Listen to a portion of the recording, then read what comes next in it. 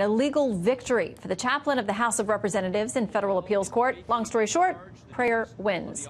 Joining us now to talk about these things on this Good Friday, Chris Scalia, author of a new book on faith. Lessons from an American believer about his father, the late Justice Antonin Scalia, and his faith. Thanks for being with us, Chris. Thanks a lot for having me. Okay, I want to ask you, um, too, about something that came out today a, a, Pew poll that talks about people, I think it was Gallup, sorry, Gallup, talking about the, the faith in this country. And they say that church membership in the U.S. has plummeted over the past 20 years. Percentage of U.S. adults who belong to a church or other religious institution has plunged by 20 percentage points over the past 2 mm-hmm. decades, hitting a low of 50% last year. Why do you think there's less? Less of an involvement of religion in our society right now? Uh, there are, I'm sure there are all sorts of factors. I don't think I'm qualified to, to identify any single one, but my hunch is that uh, one of the factors, and something I think my father would have pointed to, is that uh, the Supreme Court over the last 50 years has uh, made it more difficult uh, for Americans uh, to express religious beliefs um, in, in public. So, for example, um, invocations at high school graduation or high, high school ceremonies, um, situations like the one that the chaplain, I mean, that, that went well for the chaplain, but in, in a lot of other instances like that, uh, the Supreme Court uh, or, and other courts rule against expressions of faith because they, they believe it's an establishment of religion that contradicts the Constitution.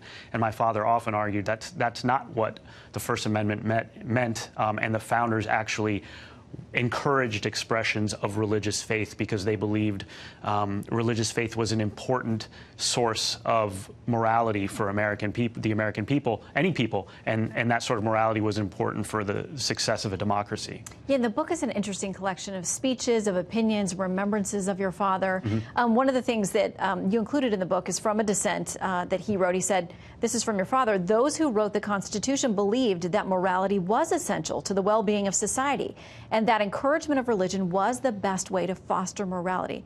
You know, a lot of folks today would say they're just not buying that. Yeah, I, I mean, I think that, you know, it's certainly not the case that you, only religious people or moral people. That's not the case. But for, for many people, uh, the founders believed it, and I think a lot of people believe it today.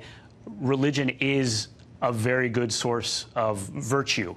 Um, it reminds people of what's important, how to, it, it lays out important guides for how to treat other people, how to live your own life, and things like that. And, and without that sort of regular church going, you know, uh, it, it's harder to find that sort of moral foundation. That's why the, the founders encouraged religious expression in public. My father again and again pointed out that, you know, presidents from the beginning have uh, delivered prayers, they've thanked God, um, and things like that. So clearly, that sort of religious expression, not proselytizing for a specific denomination, but religion has generally been preferred over non religion uh, in this country. And my father w- was upset that he saw the court going a different uh, direction. Justice Thomas, of course, one of his closest friends mm-hmm. uh, on the court, uh, and in life, um, he writes in the foreword to the book, he says this Nino's faith, and people may not know that's the, what people called yeah. your father, Nino. Uh, Nino's faith fueled a deep commitment to his judicial oath and the duties and obligations it entailed. That is what I saw on a day to day basis. His Catholic faith helped him to understand that he had no right or license to exceed his judicial authority or to abdicate his responsibilities. It imposed a constant judicial modesty or humility. And you and I have talked about this. There are people who, uh, you know, we've seen nominees come up before the Senate and be questioned about the religious faith and whether it would taint or impede their ability to actually be yeah. a fair judge.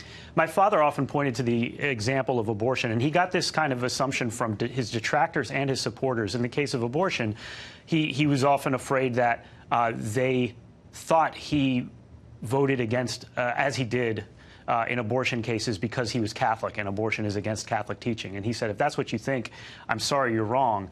I think Roe v. Wade is bad law because there's clearly no guarantee for abortion in the Constitution. If the Constitution made a clear guarantee for abortion, I would have to rule otherwise, despite what my what my religious beliefs are. He was a conservative justice, which means that uh, he interpreted the Constitution according to its original public meaning and didn't try to impose his own uh, policy preferences or religious beliefs on the cases. Well, it's an interesting book and so many of his words and remembrances. So congratulations on that. Thank you and, very and much. very Shannon. fitting for us this Holy Week to have. Absolutely. You. Thanks for having me on tonight.